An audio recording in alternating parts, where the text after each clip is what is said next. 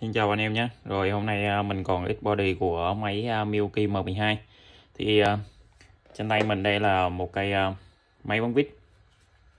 Khá là nhỏ gọn của Milky. Con này nó có cái model đó là 2553 20 Đấy, Con này thì nó là thăng Mỹ nha mọi người, Và được sản xuất tại Mexico.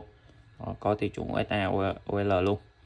Hàng thì là hàng mới 100% Hàng mình tách lẻ ra thì ờ, tất cả hàng mình về mình đều tách lẻ ra bán lẻ cho anh em. Tại vì những anh em đã có uh, pin có sạc thì bây giờ anh em chỉ cần mua một cái body nữa thôi là anh em có thể sử dụng ok rồi.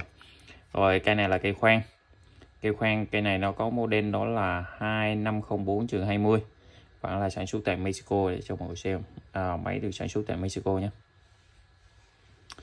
À, sản xuất năm 2022 đây mọi người nhìn ở trên này thì mọi người sẽ thấy là có 220908 thì uh, số 22 đầu tiên đó là số 5 đầu là đầu kẹp 13 ly auto lock. Đó. Rồi mình sẽ cắm thử một viên pin vào. Uh, pin thì uh, pin 4A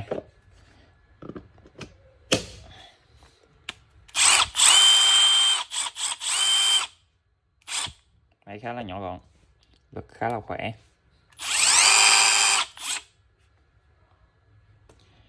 Rồi đây là cái vít bên này cái khoan khoan này thì nó sẽ gồm có à, ba uh, chức năng. Có chức năng búa nha mọi người.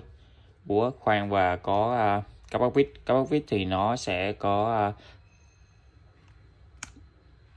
ngắt lực điện tử. Đây.